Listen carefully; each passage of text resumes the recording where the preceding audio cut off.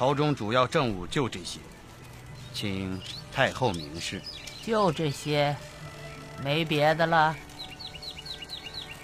皇上叫微臣禀报的就这些。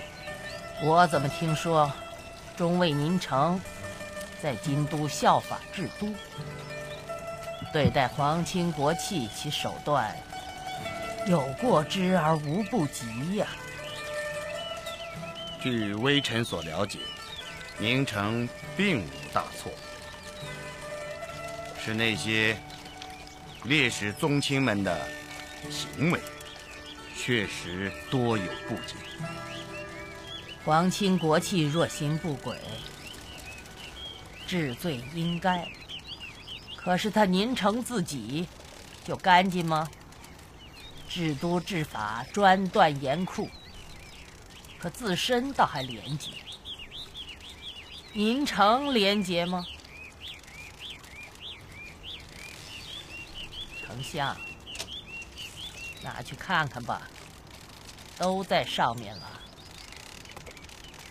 贪赃受贿是一个中尉应守的本分吗？回去告诉皇上，治国如同端一碗水，稍有不平，水则溢也。执法者犯法，尤其不可姑息。臣告退。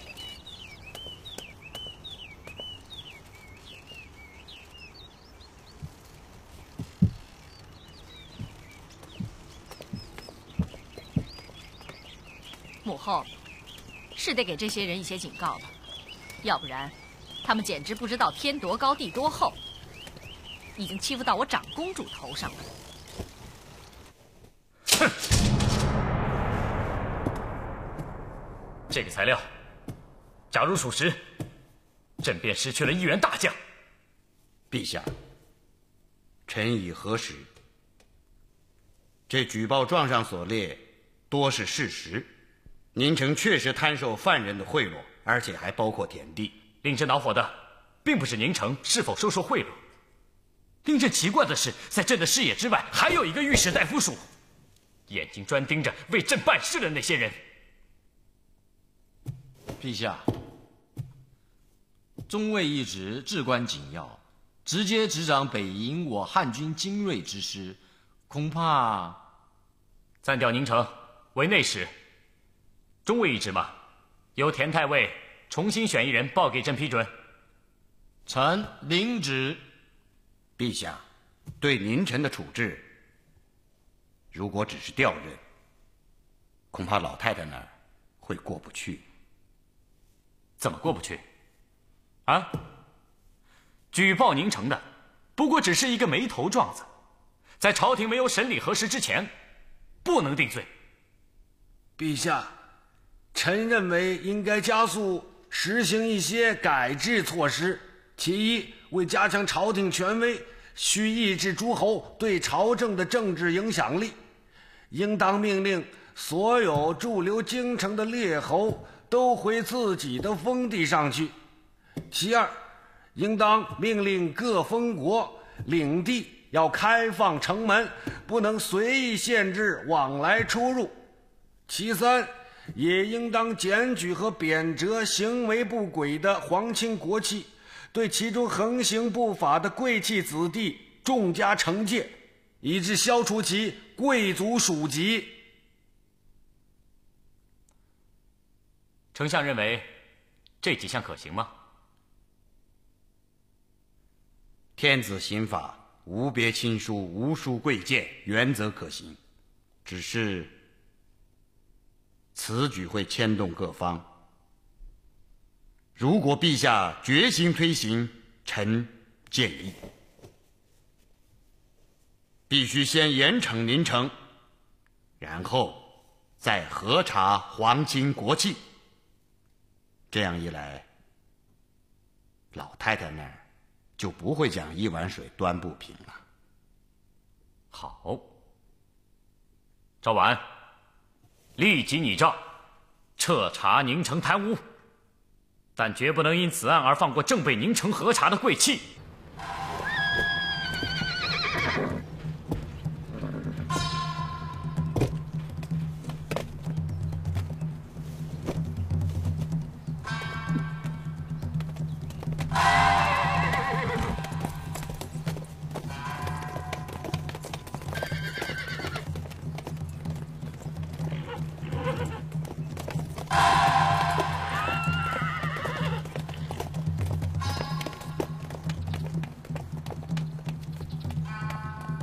中尉宁城拜见太尉。中尉宁城接旨。诏命：暂调宁城为内史，同时免去其中尉一职，着宁城停职在家，交代罪过，钦此。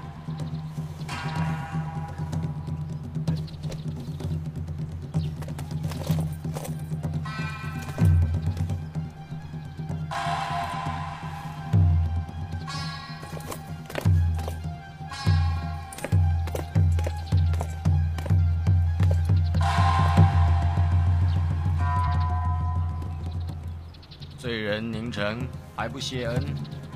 谢皇上隆恩。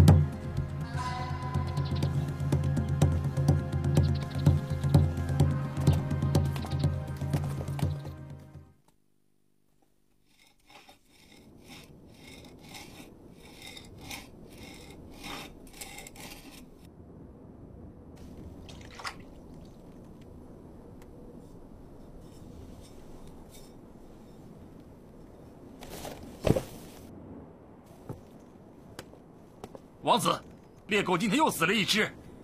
这些猎狗除了人肉，别的都不吃。四只猎狗只剩下一只了。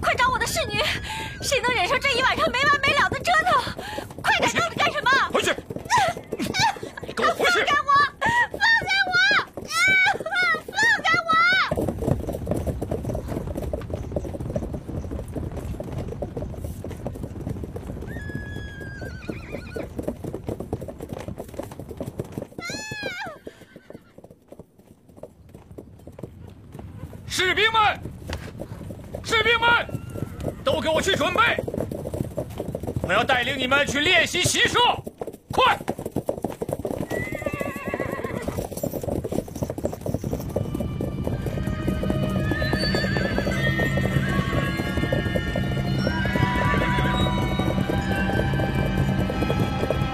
你们都看清楚了没有？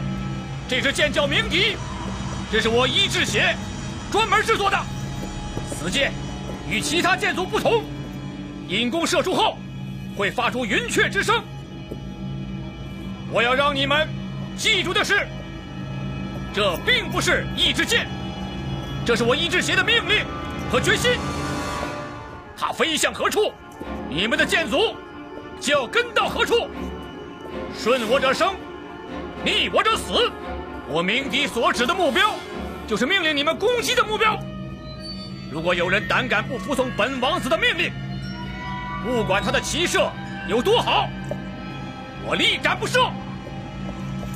听明白了没有？听明白了，听明白了，听了，听了。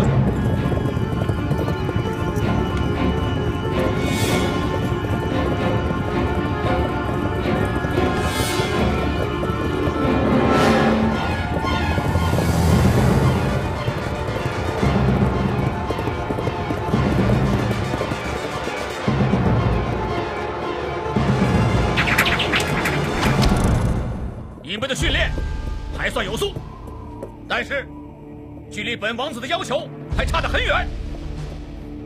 我说过，我的鸣笛就是我的将令，我的决心有不从者，力斩不赦。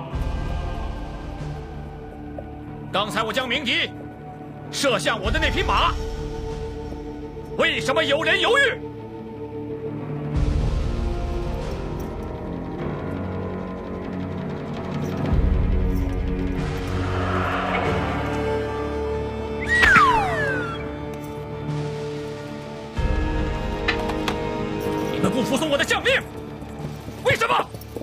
知道王子深爱自己的宝马，什么？担心你号令有误，所以犹豫了。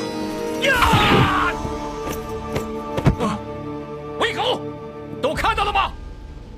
这就是不执行本王子命令的下场。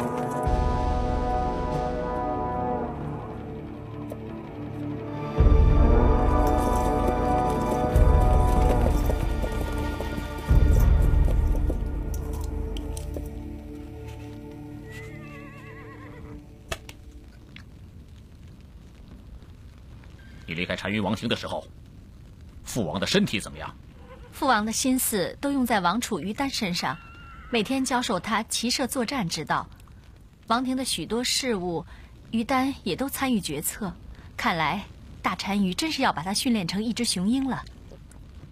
哼大单于难道是教出来的？匈奴的统帅是饥饿与欲望的产物，是荒原上孤独的狼，是必须熬过了艰苦岁月才幸存下来的狼。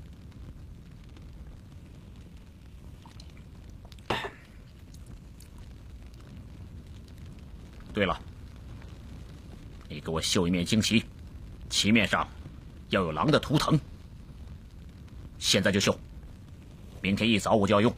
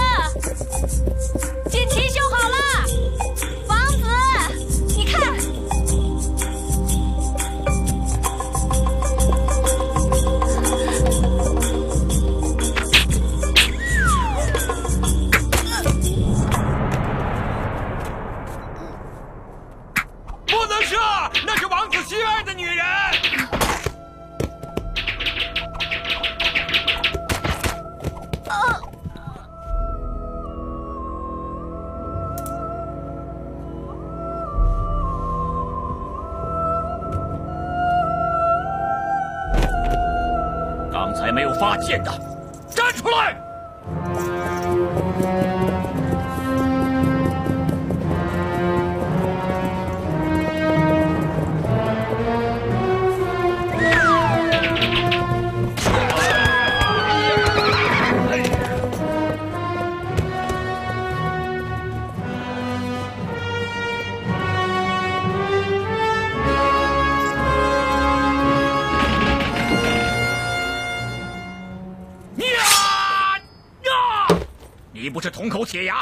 舍利心吗？那么走吧，回到荒野上去吧。你必须做重新恢复野性的狼，否则你就去死了吧！快给我走！挺起你的胸膛，竖起你的耳朵，恢复你祖先嗜血的本性，去厮杀，去谋生，去找回自己的荣誉。走，快走！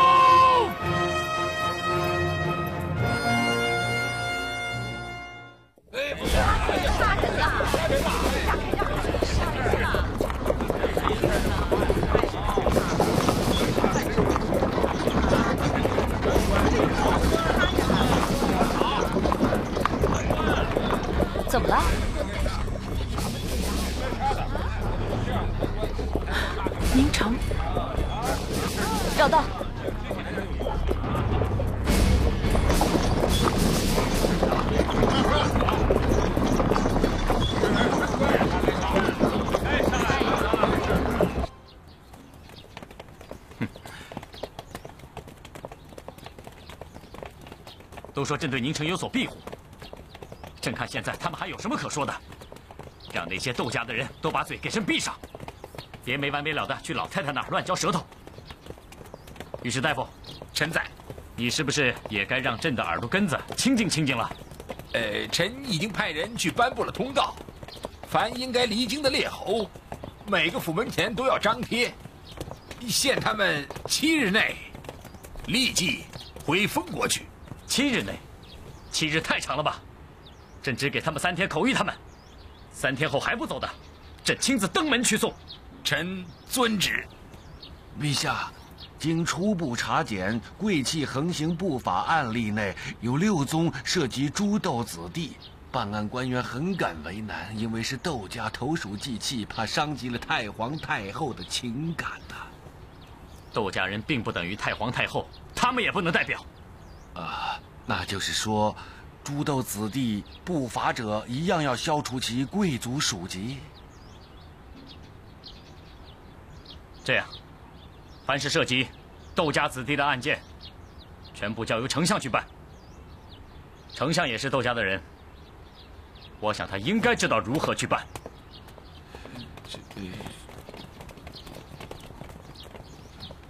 皇上是这么说的。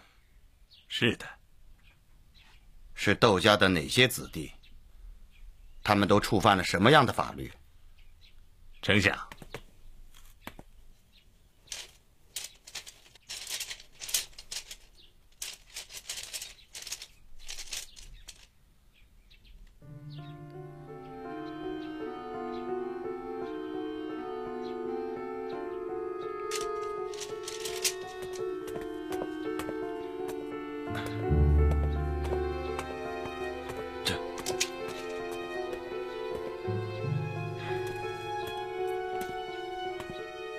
丞相，告辞了。哦哦哦，好。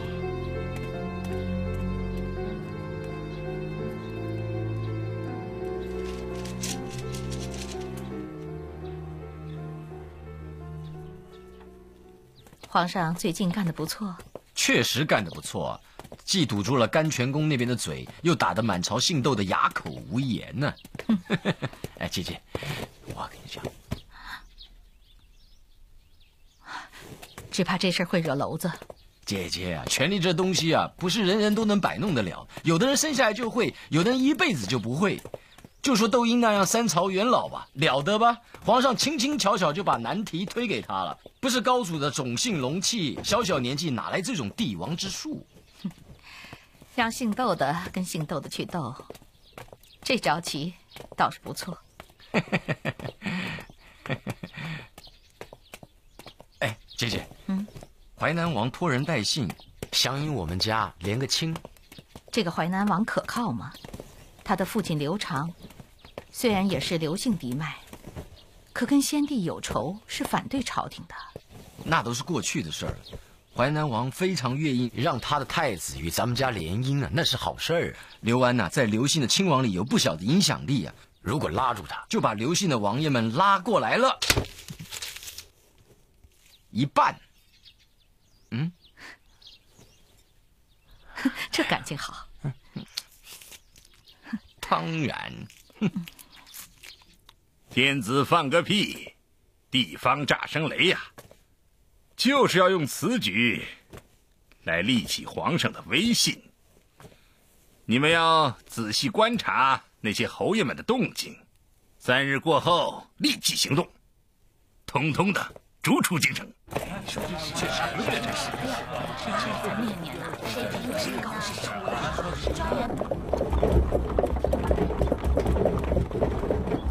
太常窦彭祖拜见丞相。这这这这这也太过分了！廷尉署一清早就到我家去抓人，当着我的面带走我的小儿子，这这，我窦鹏祖身为九卿之首，什么人敢有这么猖狂的举动啊？是我，我叫廷尉署去人的，但不是去抓人，而是带走询问。这不一样吗？啊，大哥，您是咱窦家人的头。现在明显有人在离间咱们窦家，咱们自己可不能骨肉相残呐！啊，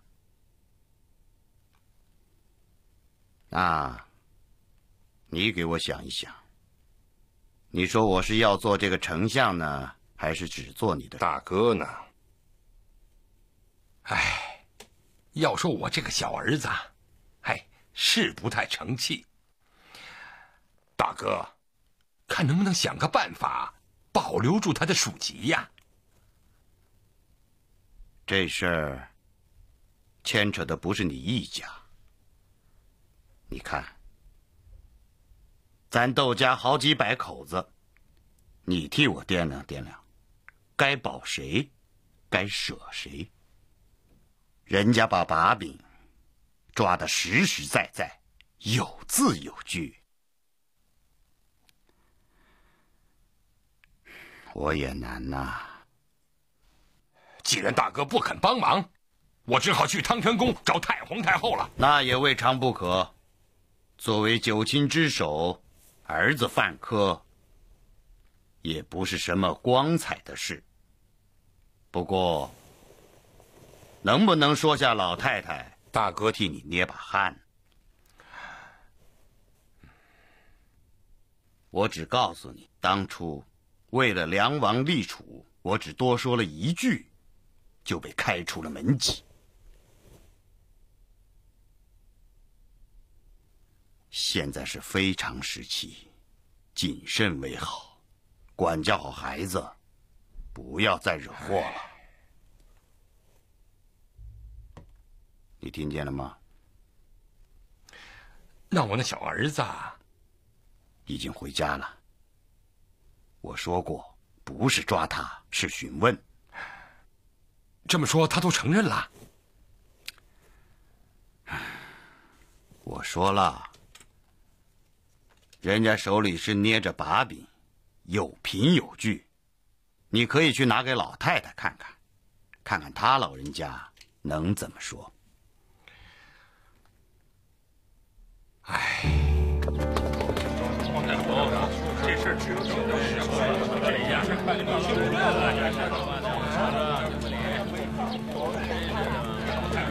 说说你们，真是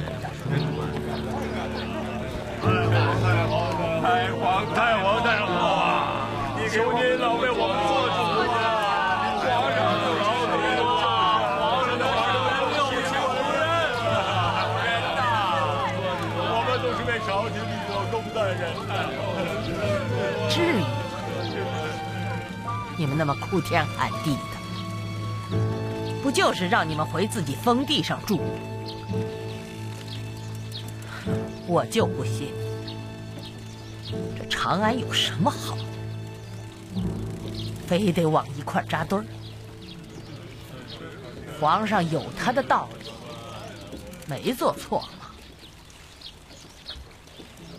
这人多的地方啊，就有是非；这有是非啊，就有争斗；有争斗就有输赢。回到你们的封地，就要你们的命啊！还可以来来往往。皇上年纪再小，他毕竟也是皇上。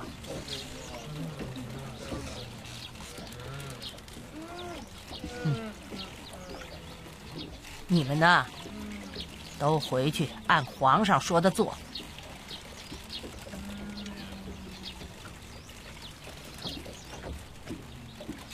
嗯，味道不错。新政出战告捷，列侯均已归国，阻力嘛也都消失了。下一步，我们该考虑建立一批新规制，设明堂，易封禅改历法，易服色，尤其是。罢黜百家杂说，独尊儒学。大政方针，朕已决定，你们要立即着手去办，列出个日程来。陛下刚才所议都是很重要的。如果要顺利的施行，前提是要减少各方面的阻力。微臣早上来，恰遇博志侯许昌、武强侯庄钦迪往这边探头探脑。这两个人是专治黄老学说的，而且常去与太皇太后那儿走动。哼，以卑臣之见，这两个人在此窥探了消息之后，肯定。又会跑去向太皇太后那儿禀报的。陛下，微臣以为，此间所议一切，必须事前给太皇太后知道，求得太皇太后首肯，能行的则行，不能行的，则缓行。太皇太后垂垂老矣，陛下以天子之尊，岂可一举手一投足皆受制于一个泥古不化的老人？郎中令，此话不当。丞相说的极是。陛下，来日方长，有些事情关系重大，还是审慎为好。操之过急。恐怕只会适得其反，那就不好了。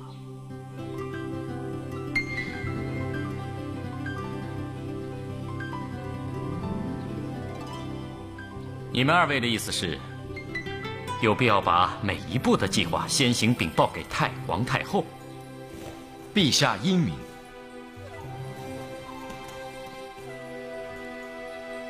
朕考虑考虑再定吧。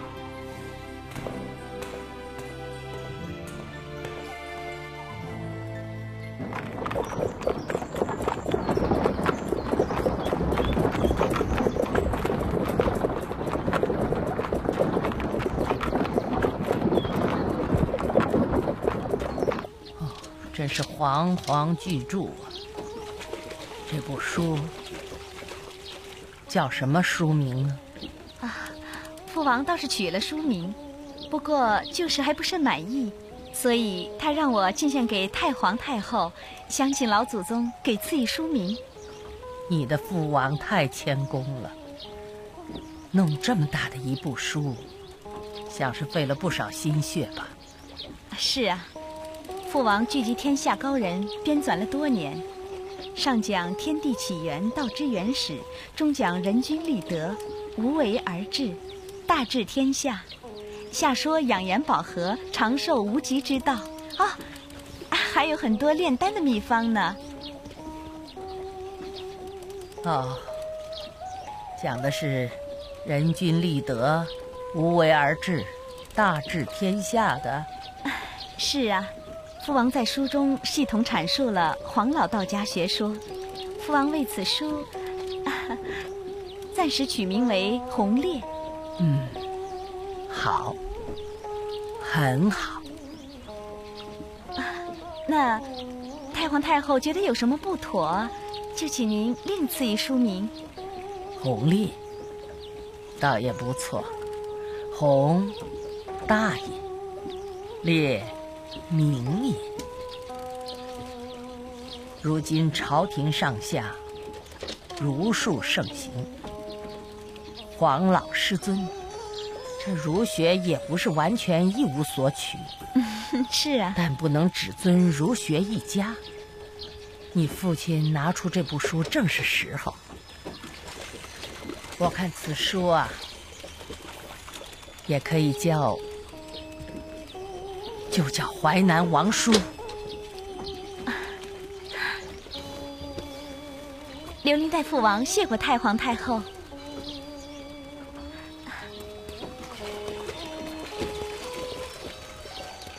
回去禀报你的父王，老身理应谢他才是。好在冬十月他就会入朝，到时候我再跟他议议，听他讲讲正本清源的道理。那刘玲告辞了。嗯，倩儿在，去把程不识将军给我请来。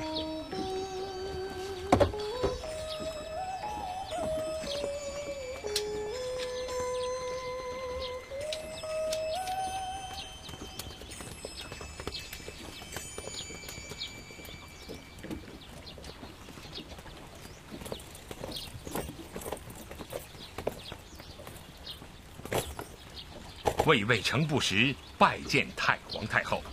嗯，你回长安一趟，把朝中的那些老臣给我请到汤泉宫来。诺。我要听他们议一议这部《淮南王书》，这儿有个名单，按照上面的名字一一的给我请来。臣领旨。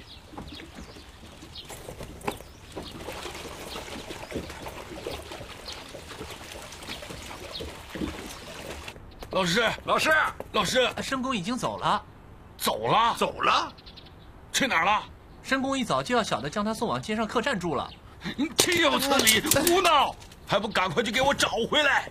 小的来了，可是申公，你，你，看来，老师是有意和学生们拉开距离呀。这是为什么？丞相，臣在。朕下诏罢元马以自平民这一项，你操办的如何呀？回陛下，已告完成。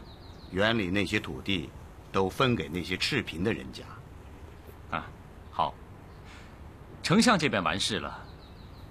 那建明堂的事，有眉目了吗？嗯。你们不是说要向申公请教古制吗？打听到了吗？呃，陛下，申公他。他怎么了？呃，申公说各学派说法不一，他也莫衷一是啊。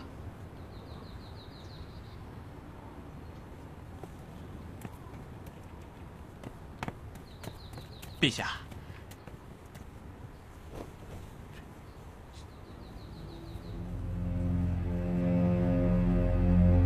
太皇太后最近召集了许昌、庄清敌、石奋等一批老臣，去了骊山汤泉宫。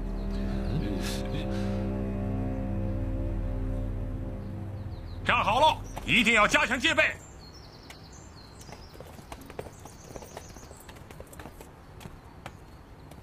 皇上最近那套可不怎么高明啊。当初高祖任沛公时，主要沿用处置；后来攻下长安，萧何从阿房宫拿到了秦图书典籍后，就开始仿用秦制，所以。汉承秦制，可赵婉王臧有撺掇皇上改制，更秦法以立汉制。要改呀，那你就好好改呀。你得监听各方面意见，可不能胡闹啊。听说还要改黄历，正月不叫正月，叫腊月。还要改服色，这上黑。改上皇，还要改官名，治粟内史改成大司农。听说下次朝请还得加礼乐，还要造明堂。哼，改来改去，你们说说，大汉朝廷的国家规制不都乱了套了吗？有几个人呐，专捡皇上爱听的说。皇上太年轻，所以请你们几位老臣来，要你们给皇上啊多提点好建议。这天下呀，怎么能只有一元呢？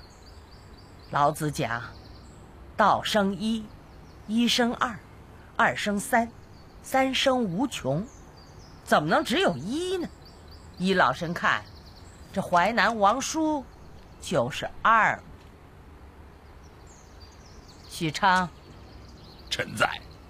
你回长安时，把这部《淮南王书》给我捎给皇上，让他好好的读一读。他不是要正本清源吗？依老身看，如今朝廷之上，儒术独盛，儒生猖獗，是要正本清源。要皇上兼听则明，回到无为而治上来，不要事事只听儒生的。臣遵旨。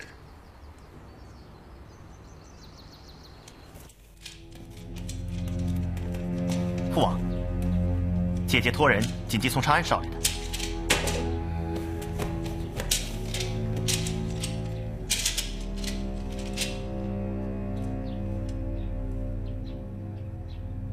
怎么样，父王？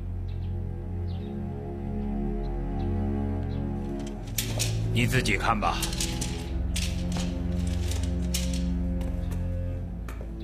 太皇太后也只是夸了父王的书而已呀。寡人这本书得到太皇太后如此夸奖，因近而察远，以叶而知秋啊。父王的意思是，嗯，皇上的地位有点微妙了。哦，太皇太后讲这些话不是说给我听的，是说给皇上听的。看来太皇太后早晚得把那帮儒门子弟都请出朝堂的。哎，这是早晚的事儿。要是皇上硬是护着他们，那可就对立起来了。父王的意思是，天下要大变了。看来，如不想出个办法，臣担心太皇太后早晚会下决心废弃儒学。重新回到黄老之道。近来，列侯宗室和窦姓贵戚们都在私下串联，到老太太那儿讲陛下改制的坏话。如果能彻底绕开老太太，那事情就好办多了。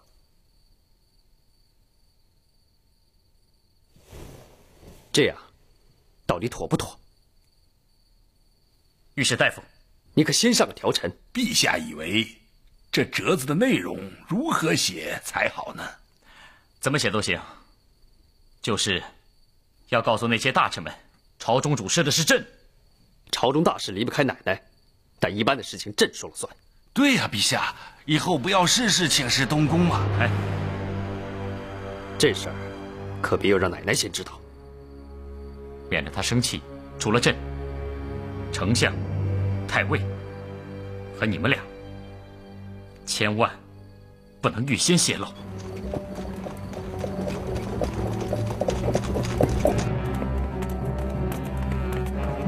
啊，留步！你去禀告皇上，臣支持皇上的决定。告辞。请等一下。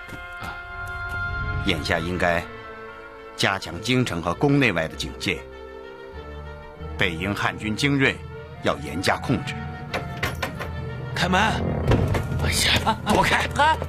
王大人，太尉在房中求见。太尉大人，郎中令王大人来了。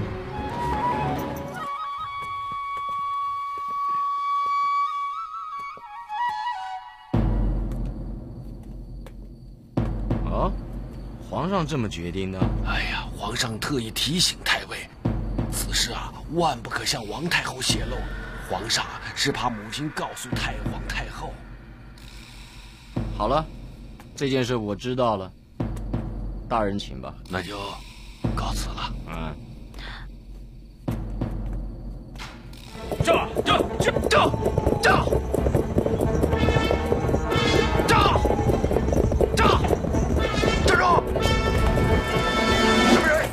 深夜来此闯宫？我是武强侯庄庆迪。不行。谁也不能深夜闯宫！程将军，赶快带我去见太皇太后！闪开，让他进来。